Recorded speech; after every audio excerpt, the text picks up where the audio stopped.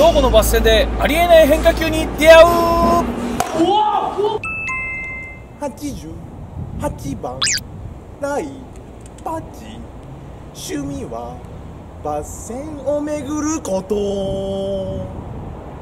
不合格。はいというわけでやってまいりました。全国バッティングセンターを巡る旅。兵庫県宝塚です。そうですね。宝塚ということで先ほどそうですよ。あ。あの綺麗だねほんでまだなんか新しくて2014年？あそうなんだ。できたばっかりでえ綺麗だっていうことでもうー、いいじゃないですか。いいじゃないですか。行きましょう行きましょう。で今日はですね、うん。徳さんこの間言ってたはい。ま、っすぐを待ちながら、はい。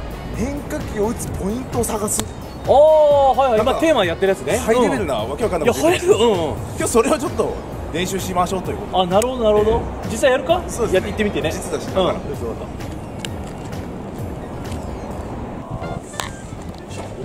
じゃあじゃあ。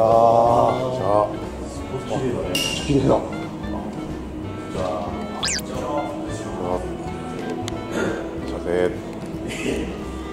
あすっげえ新しい本日はこの打席でバッティングこのバッティングスタジアムサージ宝塚3充実した打席数に景色も非常に良きまっすぐ待ちながら変化球対応のポイントって言ってたんだけど、この前さ、まあ、自分の年齢と向き合うみたいな話があったじゃない、はい。で前まではどっちかというとポイント前で取れるバッターだったのね、はいはいはいはい。前でこのこの辺りで右足の前というかさこの辺りでやっぱ捉えていくバッターであったんだけども、はい。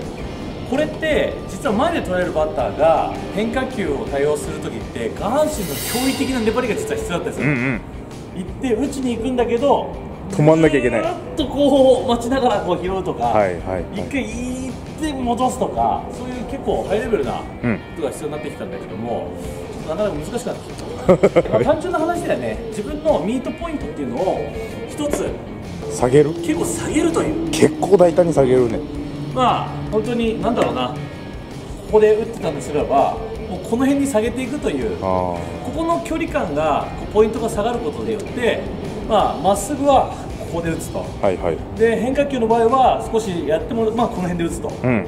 いうようなこのちょっとの差のまあずれをずれというかまあこれだいぶだいぶそうですね。あのすごく難しくてあの今調整段階というか試行錯誤中なんだけど、ん。まあ、これがもし身につけばだいぶまたパッティングの幅というか、ん。新たなステージというか、はいはい。そういうところに結んでいくから必ずミックスを打つようにして、うーん。うん。まあ、しっかりストレートに合わせながらストレートはこの体に近いポイントにしながら、うん。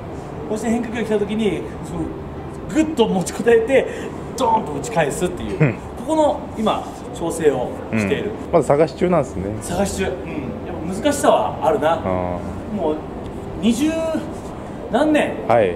やってきたものを大きく変えようとしてるからね。やっぱそれがないと最後もうこのまままた何も変わらないと。進化のための変化と。変化と、野村監督の言葉ですね。うん、実際やってみる？そうですね。うん。あれこれまだちょっと早いんだよな。あいったわあ。この後驚愕のボールが来る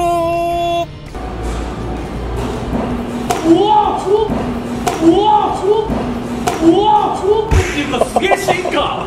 フォークっていうか。パワー進化。すげえ速い。はい思わずびっくりしてしまいましたがフォークというかですねもうフォークのスピードっていうか進化と本当パワー進化みたいなボールが来まして、えー非常に、えーナイス実践でございます。頑張ります。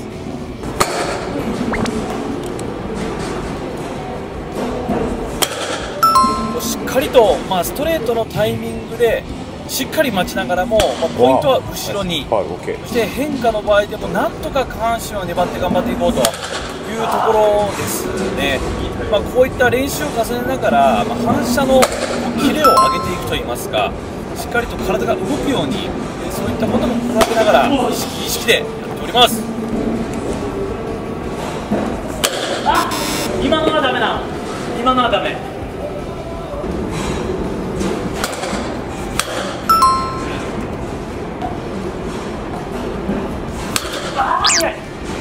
今のが待ってないと。わ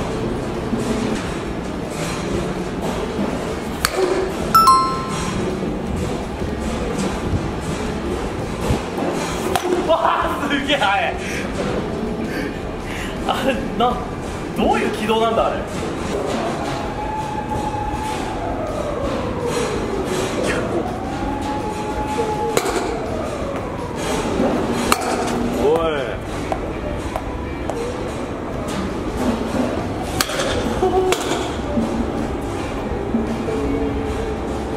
早く出ちゃうって感じわかるでしょ？早く出る。普通の感覚で打ってると。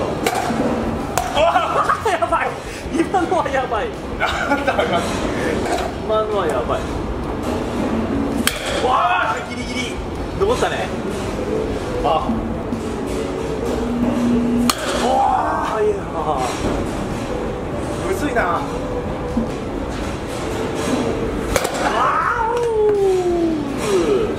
合うところまであいいね。いいねストレートの位置を引き込んでくるっていう。いやいやいや。一周行くからカーブかと思います。鬼進化。さあ師匠。どうでしたか？まあ誰もが分かりきってることですけどうん。ま、っすぐめっちゃ鬼張りで、ん。カーブ変化球来たら、うん。それは打てないです。そうだね。ただその打つポイント、うん。覚えられれば、うん。それはそこに要は変化球の軌道を想像しつつ、そこにカーブ変化球だったらここに出すそうだよね。うん。とか。